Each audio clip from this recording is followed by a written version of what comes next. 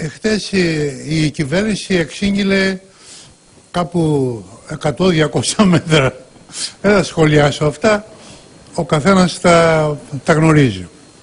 Εχθές όμως στον τύπο υπήρχε μια ε, καινούρια ας πούμε, φοβερή είδηση όπου ο Ιούγκερ βασικά αλλά και η, η, η Λαγκάν που είναι αυτή η Γαλλίδα και ο Σόιμπλερ ουνίσονο περίπου τι μας είπα τι μας περιμένει τώρα; Μας περιμένει ε, ακριβώς αυτό που έκαναν η Δυτική Γερμανία στην Ανατολική Γερμανία η, όταν έγινε η συνένωση των δύο Γερμανιών τότε η πλούσια Γερμανία δυτική με ένα λόγο καταβρόχησε την Ανατολική. Έβαλε μια επιτροπή εμπειρογνωμόνων πάνω από κάθε άλλο η οποία έκανε εκτιμήσεις για κάθε περιουσιακό στοιχείο, ένα εργοστάσιο, ένα κτίριο, κάτι άλλο κλπ. Και κανόνιζε την τιμή και εισέπραται αυτή τα χρήματα. Και έτσι 2.000 εργοστάσια αυτά πουλήθηκαν για ένα κομμάτι ψωμί στους δυτικούς. Αυτό λοιπόν τώρα το μοντέλο θέλουν να εφαρμόσουν στη χώρα μας. Είπε δηλαδή ο Γιούγκερ ότι θα είναι καλό να υπάρξει μία ιδιωτική επιχείρηση με εμπειρογνώμονες η οποία πάνω από κυβέρνηση, πάνω από τους Έλληνες δεδομένου ότι η Μερκέλ η κουβερνάντα μας είπε ότι πρέπει να μπει στο σφυρί όλη η Ελλάδα και έχει υπογράψει γι' αυτό ο κ. Παπακοσταντίνου όλη η Ελλάδα τι σημαίνει αυτό δηλαδή; Όχι το σημερινό τώρα που, που λέτε το ελληνικό που λέτε τα πετρέλαια στο, στη, κάτω από την καβάλα κλπ. Αλλά, εν πάση περιπτώσει, τα χρήματα παίρνει η κυβέρνηση για να μπαλώσει ορισμένες τρύπες, αλλά να είσαι βέβαιος τα περισσότερα τα παίρνουν οι τράπεζες.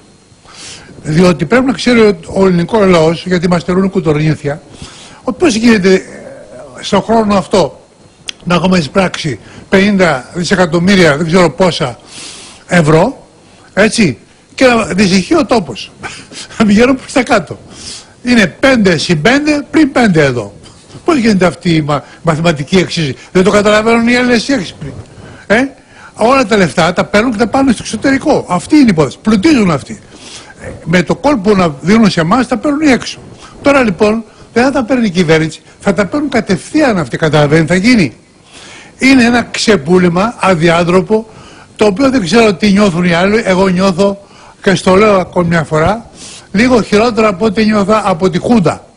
Διότι το λέω αυτό με πλήρη επίγνωση του δουλειού, διότι επί τρία χρόνια ήμουν άνθρωπος που γνώριζε καλύτερα τη Χούντα από οποιοδήποτε άλλο, καλύτερο άλλο. Ήμουν στην παρανομία, ήμουν στην ασφάλεια, ήμουν στη φυλακή, ήμουν εξορία και τους έφερα πρόσωπο με πρόσωπο. Αυτοί με προσέβαλαν και γι' αυτό ήμουν πάλι σε επάρξεις, τώρα περισσότερο. Διότι αυτό πρέπει, είναι κάτι που το κάνουν στη ζούλα. Και τι γίνεται τώρα; Γιατί σήμερα βλέπει και ο Πρωθυπουργός τους. Ε, Αρχηγούς των κομμάτων. Ωραία. Είναι πάλι η εντολή απ' έξω. Σαν να είμαστε κάτι καθυστερημένα παιδιά και μας λέει Γιούγκερ και η Μέκελ ενωθείτε. Κάνετε εθνική ενότητα. Γιατί το λέει αυτό; Για να έχουν μεγαλύτερη λαϊκή βάση.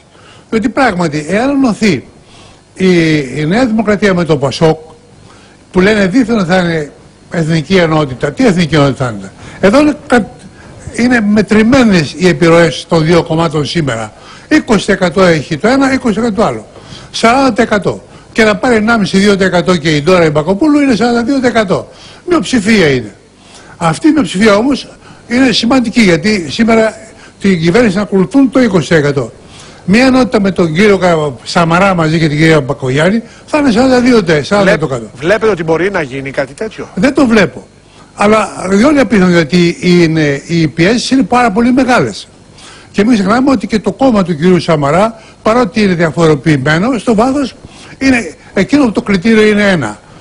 Θα κυβερνήσει με τρόικα ή χωρίς τρόικα; Διότι αν έχει την Τρόικα από πάνω, το οποιοδήποτε είναι, και η Παπαρίγα είναι από πάνω και να έχει Τρόικα, θα κάνει τις εντολές της Τρόικα. Δεν, δεν κάνουν πολιτική αυτού η αδική τους, ας πούμε, η κυβέρνηση. Κάνουν ό,τι σου πει, ας πούμε, ο κύριος ένας και ο άλλος. Δεν είναι ότι όταν έγινε η τελευταία σύσκεψη στην Ευρώπη και άρχισε να μιλάει ο Παπα-Κωνσταντίνου, το διάκοψε ο Κιούντερ και ανέβηκε απάνω αυτά οι, επίτρο, οι, επίτρο, οι επίτροποι δικοί μας, τα παιδάκια αυτά δηλαδή οι υπάλληλοι και μίλησε αυτή για την Ελλάδα. Ε, το, η, το, η απόλυτη, η απόλυτο, ο απόλυτος εξευτελισμός. Λοιπόν, άμα γίνει και αυτό, εγώ νομίζω ότι δεν πρέπει να περιμένουμε την ώρα που θα έρθει ο Δήμος, γιατί είναι Δήμος αυτός. Θα μας αποτελειώσει. Δεν καταλαβαίνω θα πει αυτό. Όλα τα, όλη η περιουσία της Ελλάδας είναι στο σφυρί. Και μπορούν να πουληθούν οπουδήποτε. Δηλαδή μιλάμε τώρα για πράγματα που είναι ρεαλιστικά, φαίνονται απίθανα ρεαλιστικά. Λέει, έχω ένα ωραίο κομμάτι που λέει ο πληστηριασμός, το οποίο είναι το ελληνικό. Το εκτιμώ 20 εκατομμύρια ευρώ. Μπορείς ποιος δίνει. Λέει λοιπόν, η, η Γαλλία εγώ δίνω 50 και μισό. Έχει το Σκοπιανός εγώ δίνω 52. Έχει το Τούρκος εγώ δίνω 55. Κάτι χειρώνεται στον Τούρκο. Ένα ωραίο κομμάτι έχω που λέγεται Δελφή. Ποιος το θέλει αυτό; Κατάλαβε. Έχετε πάλι ο Τούρκος λέει θέλω τους Δελφούς. Ή την Ακρόπολη. Ή ένα λιμάνι. Ή το πετρέλαιο που βρίσκεται στο Ιόνιο που το βρήκαν τώρα. Στην Νότιο Κρήτη. Ξέρετε, χθες το βράδυ στην συνέντευξή του στον Αλέξη Παπαχελά, κύριε Θεοδωράκη, ο Υπουργός Οικονομικών, ο κ. Παπακοσταντίνου, ήταν η πρώτη φορά που βγήκε ανοιχτά και είπε, λέει, είπε, προσέξτε, τι είπε στον ελληνικό λαό; Εάν δεν πάρουμε τη δόση από την Τρόικα, δηλαδή να συνεχίσουμε να έχουμε αυτή την πολιτική και αυτή τη σχέση με την Τρόικα, εάν δεν πάρουμε αυτή τη δόση από την Τρόικα, 15 Ιουλίου κατεβάζουμε τα ρολά και κάνουμε στάση πληρωμών. Ουσιαστικά δηλαδή μπαίνει εκβιαστικά στον ελληνικό λαό το δίλημα ή παίρνουμε τα λεφτά από την Τρόικα και σωνόμαστε ή δεν υπάρχει άλλη λύση, κατεβάζουμε τα ρελά και δηλώνουμε πτώχευση. Αυτός είναι καθαρά εκβιασμός. Και έτσι είναι τα πράγματα εκεί που μας πήγαν αυτοί έτσι τα πράγματα. Διότι στο, στο σύμβαση που υπογράψαμε απαγορεύεται στην Ελλάδα να διαπραγματευτεί με άλλη χώρα. Όντως. Δηλαδή αν αυτή τη στιγμή υπήρχε η δυνατότητα να πάρουμε ένα μεγάλο δάνειο από την Κίνα ή τη, τη Ρωσία. Απαγορεύεται να το κάνουμε αυτό. Γι' αυτό εμείς που είμαστε, μιλάω τώρα λίγο και σαν την κίνηση των εξάρτητων πολιτών. Έτσι. Εμείς λέμε ο, ότι οποιαδήποτε κυβέρνηση είναι μέσα από το σύστημα που δέχεται την Τρόικα, που δέχεται τις υπογραφές αυτές, δεν μπορεί να κάνει τίποτα.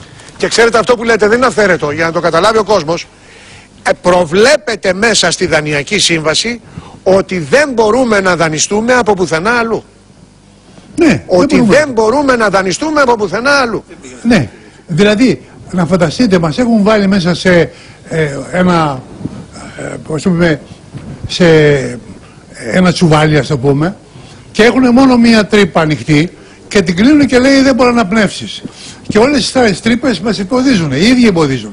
Όλο αυτό είναι ένα, ένα κόλπο το οποίο έκανε η Ιδούνου του η Ευρώπη κλπ. με συνεργασία του κ. Πακοσταντίνου και του κ. Παπανδρέου για να μας φέρει σημείο ή αυτό ή εκείνο. Μα δεν είναι αυτό. Ο μόνος που μπορεί να ανατρέψει αυτά τα πράγματα σήμερα είναι ο Ηνωμένος Λαός.